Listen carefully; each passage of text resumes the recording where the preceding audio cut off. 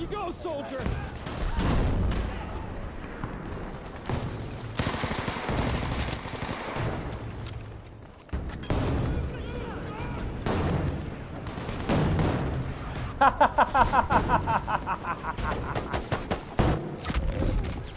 Here!